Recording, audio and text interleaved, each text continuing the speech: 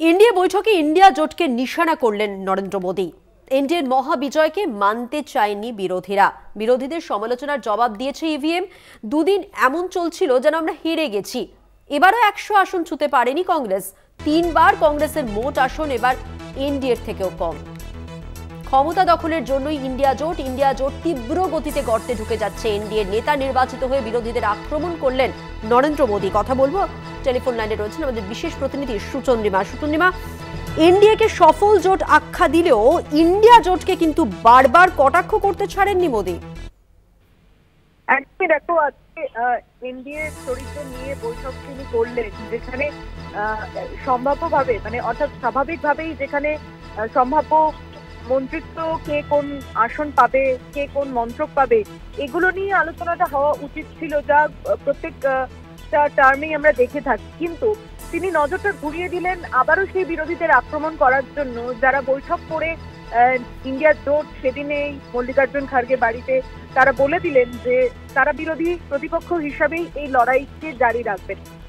নরেন্দ্র মোদী ক্ষমতায় তৃতীয়বার আসার পরও এখনও ইন্ডিয়ার দিকে যেভাবে আক্রমণ করে যাচ্ছেন এটা খুব স্বাভাবিকভাবেই এটা বোঝাচ্ছে যে কতটা আশঙ্কার মধ্যে তিনি এখন রয়েছেন যে নিজেদের শরীরকে তারা বাঁচাতে পারবেন কিনা। আজকে মধ্যমধ্যে তুমি নিশ্চয়ই তার ভাষণের মধ্যে এটা লক্ষ্য করেছ এবং দর্শকরাও এটা শুনেছেন নিশ্চয়ই যে বারবার তিনি কিন্তু ইন্ডিয়া জোটকে কটাক্ষ করার জন্য, ইন্ডিয়া নামটাকে কিন্তু আজকে তিনি ইন্ডি জোট হিসেবে কথা বলেন অর্থাৎ কোথাও এই বিষয়টাকে সামনে আনার জন্য এবং এনডিএ এক হয়ে রয়েছে এবং তারা একসঙ্গে কাজ করবে, বারংবার এটাকে তখনই বোঝানোর প্রয়োজন পড়ে যখন ভাঙনের আঁচ কেউ পেতে শুরু করে। তাই একদিকে যখন মন্ত্রিত্বের কথা শোনা যাচ্ছে না, শপথ গ্রহণের আটচল্লিশ ঘন্টাও বাকি নেই, তাই এটা কোথাও দিয়ে রাখা যে ইন্ডিয়া জোট গর্তে ঢুকে যাচ্ছে, তারা তাদের প্রাপ্ত আসন নিয়ে শুধুমাত্র সরকারের মসনদে বসতেছে এটাই তাদের উদ্দেশ্য। দেশবাসীর উদ্দেশ্যে বিগত সময় তারা কিছু করেননি। নীতিশ কুমারের কথাতেও আজকে এই প্রসঙ্গ উঠছে এলো। এবং সর্বোপরি প্রধানমন্ত্রী হওয়ার আগে, অর্থাৎ শপথ গ্রহণের আগে, ইন্ডিয়া জোটকে বারংবার আক্রমণ করে তিনি অন্তত এটা ঢাকার চেষ্টা করলেন যে এনডিএর মধ্যে কোনো ভাঙন নেই বা সেই সংশয়ে যেন মিডিয়াও কোনো ধোঁয়া না দেয়। তাই জল্পনাকে উড়িয়ে দিয়ে তিনি এটা বোঝানোর চেষ্টা যেমন করেছেন যে গর্তে ইন্ডিয়া ঢুকছে আর এনডিএ সেই গর্ত থেকে বেরিয়ে এসে নতুন সরকার তৈরি করে দেশকে এগিয়ে নিয়ে যাবে। তাই দেখার যে শপথ গ্রহণ হওয়ার পরে তার সেই গর্তটা তিনি নিজেই খুঁড়বেন, যেখানে এখনও পর্যন্ত দাবি দেওয়া পূরণ হচ্ছে কি হচ্ছে না তা নিয়ে কোনো গ্রিন সিগন্যাল আসেনি। অর্থাৎ কে কোন মন্ত্রক পাবে সেটা যেমন পরিষ্কার নয়, কাকে তার পছন্দ মতো মন্ত্রক দেওয়াই হবে সেটা তো আরোই পরিষ্কার নয়। ইতিমধ্যে মহারাষ্ট্রের একটা তালপাহানা একনাথ সিন্ডের কোথাও গিয়ে তার অখুশি হওয়া, তাকে ক্যাবিনেটের মধ্যে টেনে আনলে সেখানে মুখ্যমন্ত্রিত্বের পর ফডনবিসের কাছে যদি, দেবেন্দ্র ফডনবিসের কাছে যদি ফিরে যায়, তাহলে সেখানে কি কোনো দোলাচল আবারও দিয়ে থাকবে? নাকি এই প্রসঙ্গগুলোকে ঢাকার জন্যই তিনি বারংবার ইন্ডিয়া জোটকে আক্রমণ করেই তার বক্তব্যের অধিকাংশ সময়টা অতিবাহিত করলেন সেটা কিন্তু সুকৌশলে তার আহ, পরিপক্কতাকেই সামনে আহ, নিয়ে আসছে মধুমতি ধন্যবাদ সুচন্দ্রিমা কথা বললাম আমাদের বিশেষ প্রতিনিধি সুচন্দ্রিমার সঙ্গে এবার আমরা শুনে নেব নরেন্দ্র মোদী আজ ঠিক কি কি বলেছেন आप किसी भी बालक को पूछो कि भाई लोकसभा के चुनाव के पहले सरकार किसकी थी तो कहेगा एनडीए 24 के नतीजों के बाद सरकार किसकी बनी एनडीए। फिर हारे कहाँ से भाई? पहले भी एनडीए थी, आज भी एनडीए और कल भी एनडीए है।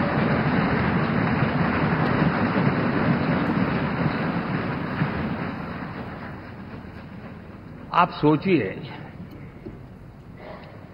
दस साल बाद भी,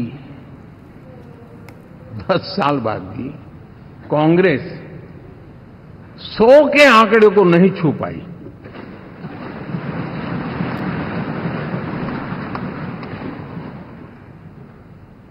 और अगर मैं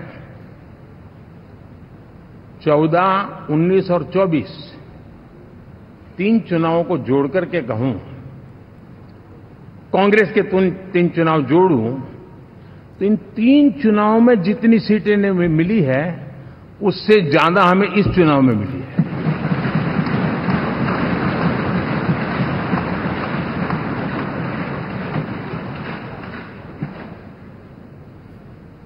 और मैं साफ़ देख रहा हूँ साथियों। इंडी वालों को अंदाज नहीं है।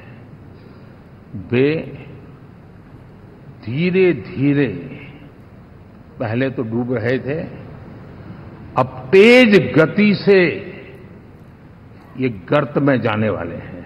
हर चीज़ में उनका कैरेक्टर दिखाई देता है। और क्या रहा?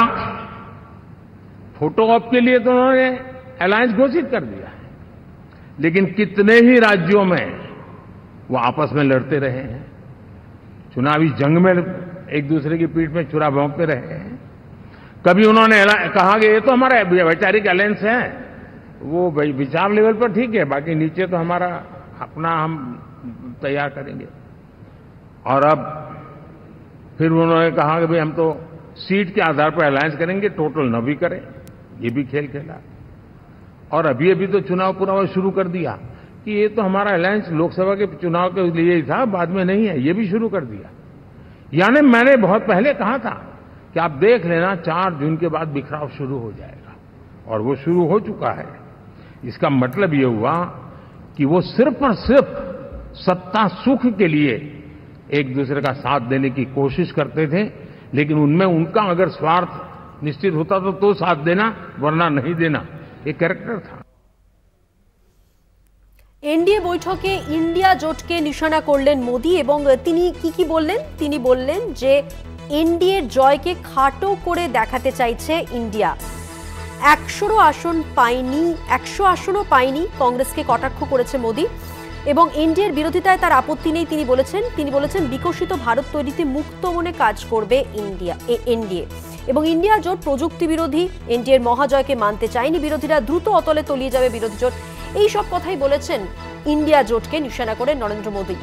এই মুহূর্তে আমাদের সঙ্গে টেলিফোন লাইনে রয়েছেন তৃণমূল মুখপাত্র অরূপ চক্রবর্তী। কথা বলব অরূপবাবুর সঙ্গে। অরূপবাবু ইন্ডিয়ার সফল জোট এটা আখ্যা দিলেন ঠিকই, কিন্তু ইন্ডিয়া জোটকে বারবার কটাক্ষ করলেন নরেন্দ্র মোদী। আজকে তার যা বক্তব্য, তা নিয়ে কি বলতে চাইবেন?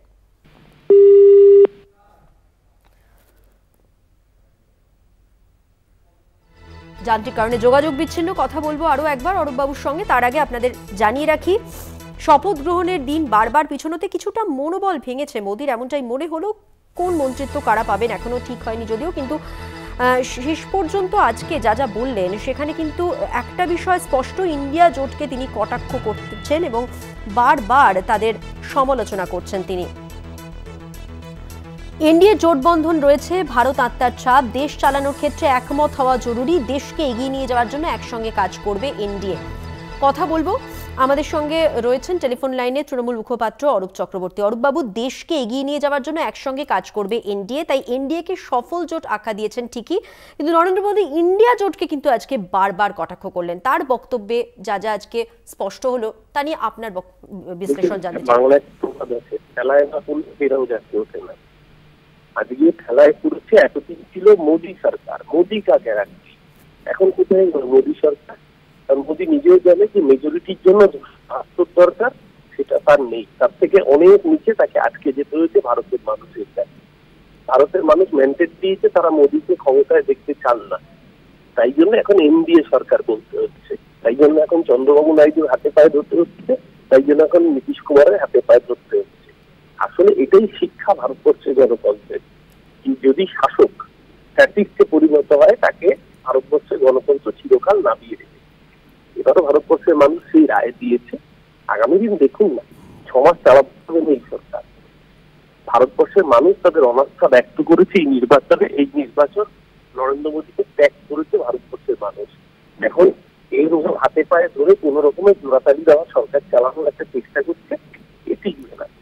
ঘরে শত চিত্র আপনি একটা চিত্র ঢাকতে গেলে আরেকটা চিত্র বেরিয়ে চল, পড়ে যাচ্ছে মাথা ঢাকতে গেলে পা বেরিয়ে, পা ঢাকতে গেলে মাথা বেরিয়ে যাচ্ছে স্বাভাবিকভাবে নরেন্দ্র মোদীর কপালে চিন্তার ভার ওই জন্য এখন বিরোধীদের উদ্দেশ্যে সব কথাবার্তা বলে বাজার গরম রাখতে হবে এই সমাজের বেশি সরকার টিকাতে পারবেন না নরেন্দ্র অনেক ধন্যবাদ। অনেক ধন্যবাদ কথা বলার জন্য। কথা বললাম তৃণমূল মুখপাত্র অরূপ চক্রবর্তীর সঙ্গে। দেশকে এগিয়ে নিয়ে যাওয়ার জন্য একসঙ্গে কাজ করবে এনডিএ। তিন দশক যাবৎ একসঙ্গে কাজ করবে এনডিএ। এনডিএর হাত ধরে দেশবাসী পাবে বিকশিত ভারত। এনডিএ নিজের কথা ভাবে না, ভাবে উন্নয়নের কথা। বিকশিত ভারত তৈরি করতে মুক্ত মনে কাজ করবে এনডিএ। এনডিএকে সফল জোট হিসেবে আখ্যা দিয়েছেন তার বক্তব্যে ঠিকই, কিন্তু তার পাশাপাশি ইন্ডিয়া জোটকে কটাক্ষ করেছেন। তিনি বলেছেন, এনডিএর জয়কে খাটো করে দেখাতে চাইছে ইন্ডিয়া। এনডিএর ক্ষমতা সম্পর্কে ওয়াকিবহাল নয় ইন্ডিয়া। আগামী দিনে এনডিএর উন্নয়ন দেখবে বিরোধীরা। একশো আসনও পায়নি কংগ্রেস, এমনই কটাক্ষ মোদির।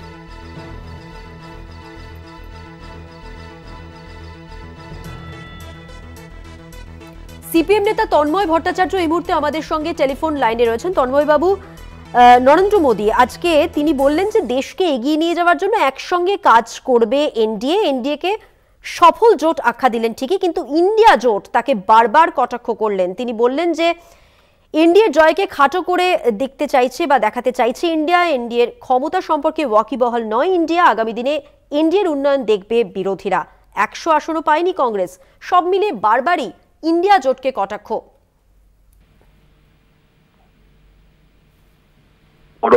দেখিয়েছিলেন? নরেন্দ্র মোদী তো। কে করেছিলেন? নরেন্দ্র মোদী তো। হ্যাঁ তন্ময় বাবু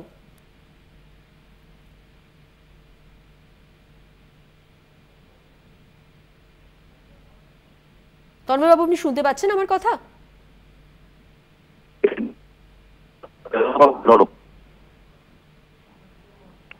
যোগাযোগ বিচ্ছিন্ন, আমরা পরবর্তী সময় আবারও কথা বলব সিপিএম নেতা তন্ময় ভট্টাচার্যের সঙ্গে। তার আগে আরও একবার জানিয়ে রাখি, আজ নরেন্দ্র মোদী, তিনি যা যা বললেন তাতে তিনি একটা বিষয় স্পষ্ট করলেন। তিনি ইন্ডিয়া জোটকে কটাক্ষ করলেন, সমালোচনা করলেন এবং তিনি বললেন যে এনডিএর হাত ধরে দেশবাসী পাবে বিকশিত ভারত। এনডিএ নিজের কথা ভাবে না, ভাবে উন্নয়নের কথা।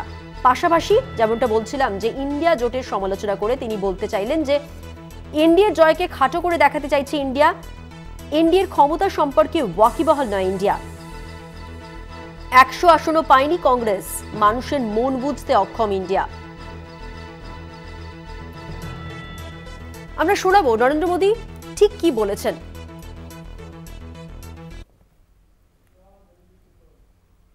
ये कैरेक्टर किसी भी बालक को पूछो कि भाई लोकसभा के चुनाव के पहले सरकार किसकी थी तो कहेगा एनडीए 24 के नतीजों के बाद सरकार किसकी बनी एनडीए फिर हारे कहाँ से भाई? पहले भी एनडीए थी, आज भी एनडीए और कल भी एनडीए है।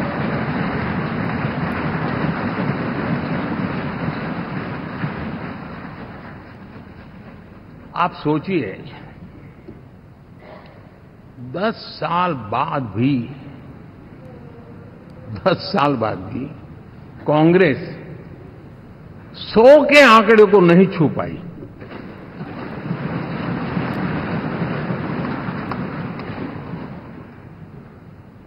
और अगर मैं चौदह, उन्नीस और चौबीस तीन चुनावों को जोड़ करके कहूँ, कांग्रेस के तीन चुनाव जोड़ूं तो इन तीन चुनावों में जितनी सीटें मिली है, उससे ज़्यादा हमें इस चुनाव में मिली है।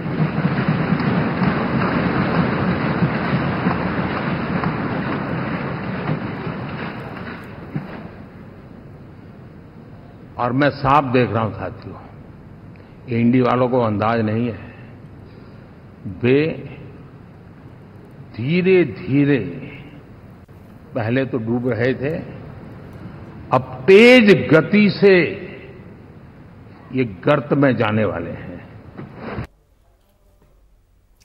সিপিএম নেতা বিকাশ রঞ্জন ভট্টাচার্য এই মুহূর্তে আমাদের সঙ্গে টেলিফোন লাইনে রয়েছেন কথা বলব বিকাশবাবুর সঙ্গে। বিকাশবাবু আজকে নরেন্দ্র মোদী তিনি এনডিএকে সফল জোট আখ্যা দিলেন এবং যা যা তারা আগামী দিনে করবেন সবটাই বললেন, কিন্তু সেই সঙ্গে বারবার ইন্ডিয়া জোটকে কটাক্ষ করতেও ছাড়েননি। তিনি বলেছেন যে এনডিএর যে জয়, তাকে খাটো করে দেখাতে চাইছে ইন্ডিয়া।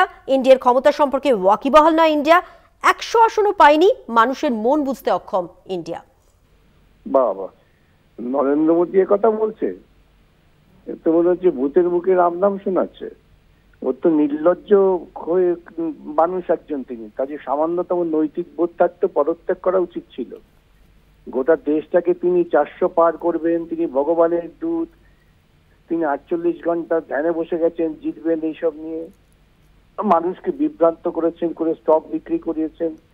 এই সমস্ত শেয়ার বিক্রি করেছেন স্টক না স্টক এক্সচেঞ্জের দাম বাড়িয়ে দিয়েছেন। এই সমস্ত মানুষ যারা কোন রকমের ক্ষমতায় টিকে আছে, অন্য অন্য সহযোগী দলের দ্বারা, তারা পারবেন মোদী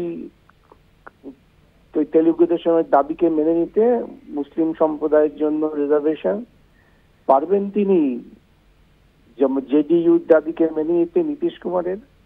এখন তো জোটবদ্ধ হচ্ছেন, ভাবছেন ক্ষমতা উঠলাম। এই ক্ষমতা কদিন থাকবে? তিন মাসও থাকবে কিনা সন্দেহ আছে। আর নির্লজ্জ মোদির মুখে এই সমস্ত কথাগুলো মানায় না। অনেক ধন্যবাদ কথা বলার জন্য। কথা বললাম সিপিএম নেতা বিকাশ রঞ্জন ভট্টাচার্যের সঙ্গে।